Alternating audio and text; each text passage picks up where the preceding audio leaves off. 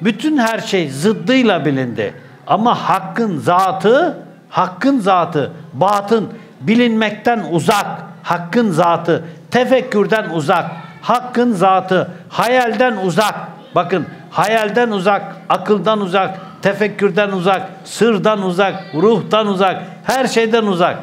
Hakkın zatını düşünmek, hakkın zatını tefekkür etmek, onun üzerinde yorum yapmak yok, yasak. Yorumlayan, söyleyen ne? Söyleyen bir ya küfür ehli, bakın ya küfür ehli ya deli.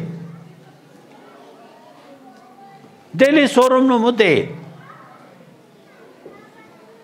Bak deli sorumlu mu? Değil. O bahset, bahsetse bir şey de gerekir mi ona? Gerekmez. Sorumlu değil.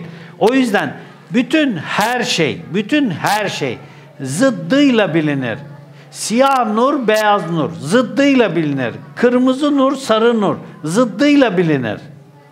Nurun dahi kendine ait tecelli ettiği e, perdeye tecelli ettiği eşyaya göre rengi vardır. O yüzden biz Allah'ın nurunun içerisinde suyun içindeki balık gibi yüzeriz. Bütün varlık Allah'ın nurunun içerisinde yüzer balık gibi. Senin bütün kainat olarak gördürmüş olduğun, alemler olarak görmüş olduğun her şey Allah'ın nurunun içerisinde yüzer. Suret olarak yüzer. Suretten ibarettir. Bir kağıdı alsan, denizin içerisine atsan, dalganın içerisine, karşıdan baksan kağıt oynar denizin dalgasının içerisinde. O kağıdı bir kimse gözü yanılsa onu canlı olarak görür mü? Görür. Onu canlı bir şey görür onu. Yaklaşınca kağıtmış bu der. Aman denizin içerisinde uzaklaşınca o kağıt hükmünde görünmez. O hareket eden bir varlıktır. Bakın hareket eden bir varlıktır. Bütün bu alemi, bütün bu alemi su gibi görsen, derya gibi görsen, deniz gibi görsen bu alemin içerisindeki bütün varlık, bütün eşya sureten, bakın sureten denizin içerisinde dolaşan bir gemi gibi, denizin içerisindeki bir balık gibi, denizin içerisindeki bir eşya gibidir. Sen de ben de.